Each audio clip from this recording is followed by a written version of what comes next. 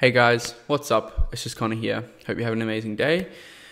In today's video, we're going to be talking about why most fail at high ticket sales, why people aren't successful within this industry, and of course, how you can prevent that from being you, right?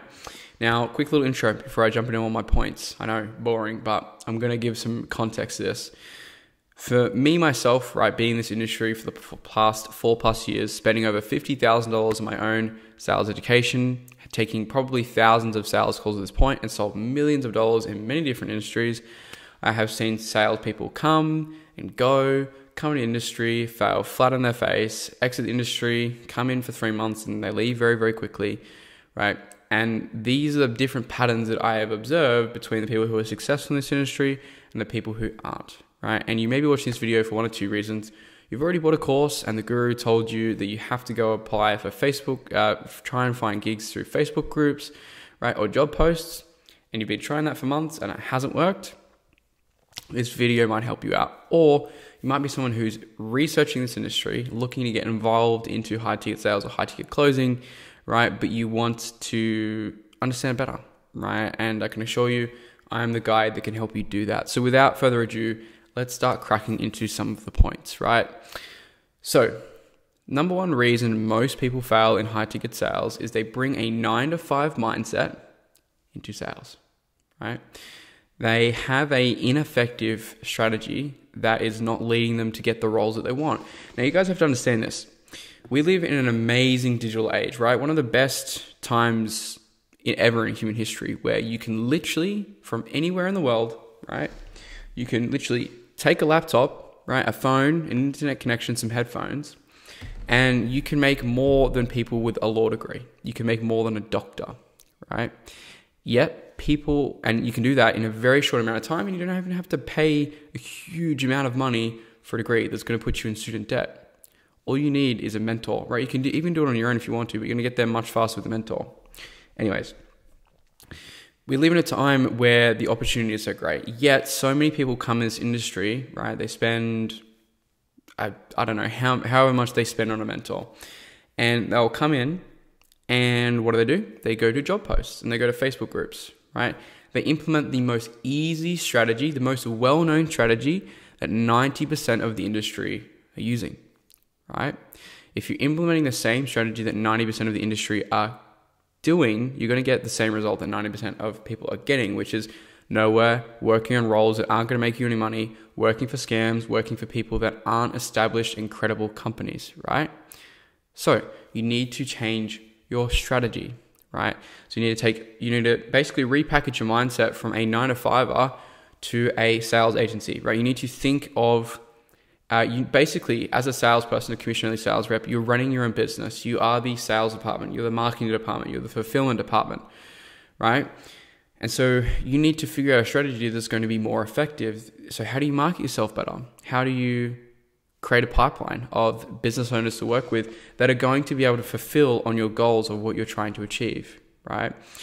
Um, that's really, really important. So, what's a different strategy you can start using? The net the basically the strategy that we talk about in the RSA that's super super important is networking. Every single role that I've got in my entire sales career has all been through networking. Not a single job I've ever got in my life, including my 9 to 5 retail job, was through networking. It is about who you know, it is not about what you know, right? There is many statistics and facts that represent that. Look it up, right? Job posts in any industry, not just the sales industry, are going to be much more ineffective to than that of networking. So you need to start thinking of yourself like a business and creating a better strategy to get to where you want to go. Right. Most common problem I'm seeing at the moment is so many people come in this industry, right? They might buy Iman Gadzhi's 997 course or there's a bunch of other people out there, right? Where the same information is relayed to every single person inside the training. And so that method of getting results and getting job opportunities, the noise becomes too much, right? Signal to noise ratio is so huge. So it's very hard to stand out in a sea of noise and a sea of competition. How do you get around that? You get that through strategic networking. We cover this in depth, intense inside the RSA, but at a very high level, you have to know the right people in the companies you want to work for. I think I can't remember the exact statistics, but it's uh, something like there was a survey that was done by LinkedIn for 3,000 businesses. 75% of people inside of that, that got the roles inside of those companies knew a contact inside the company, right? At the most desirable companies in the, I guess, job marketplace, hiring marketplace, it was 95%, right? 95%. If you're using the same approach that everybody struggles to get a job with, even in the general job market compared to sales, what makes you think that you're going to be successful in the sales market, right? Just something to consider something to really think about, right? That is the true edge that you have as a salesperson. Really starting to think of yourself as a business owner and constructing a better and more efficient and effective strategy that is going to get you the results you want. You cannot have a 10K goal and a $100 strategy and a $5 effort, right? That leads me on to my point number two, which is the effort, right? People come to this industry and they lack tenacity, right? They lack the getting after it type attitude mentality, right? They will send out 40 messages and they'll come to me and they'll go, Oh, Conor, I'm really struggling to find a role. Right? I get DMs every single day, like at least 20 plus DMs a day. And people will come to me who have already tried to get in this industry and they go, Oh, Conor, I've just really struggled finding a role. And they tell me, obviously, their strategy is inefficient. But number two, the outreach, the outbound, the effort they've put behind it is almost nil to none, right?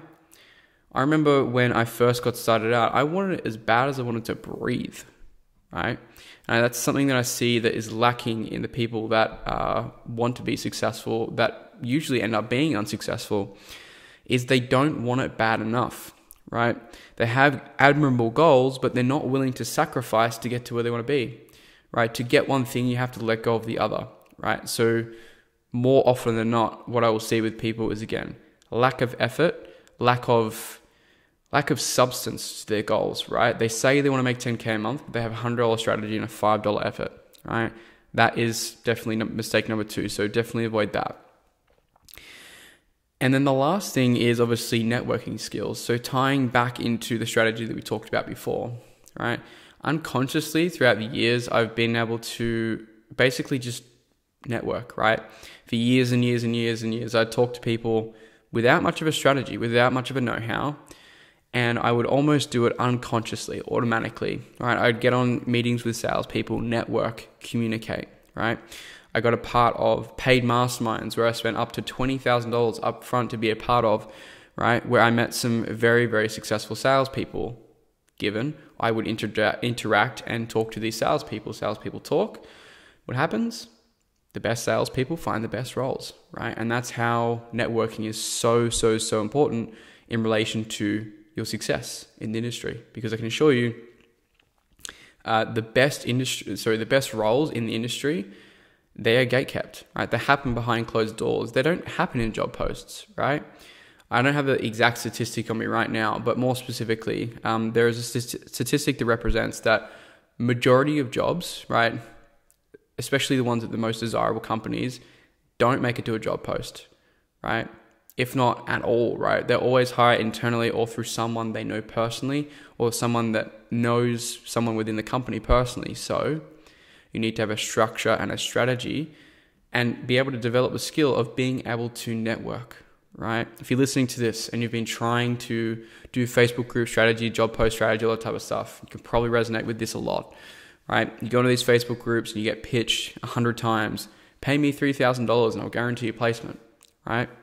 It's bullshit. It doesn't work, right? And I know this because I have many people that I've worked with in the past that have gone through the exact same thing. They always go to me, Conor, do you think this is a scam? And I'm like, well, no, it's not a scam, but it's definitely not going to add up to the price tag for what you're paying because you can get the same job done by a recruiter. So, anyways, with that said, guys, just a quick recap to end off the video. So, we have bring your nine to five mindset, right? Change that mindset to you are now a business. You're the marketing department, you're the sales department, and you are the fulfillment department, right? You need to start acting like it, right? If you act like an employee, you will get employee results, right?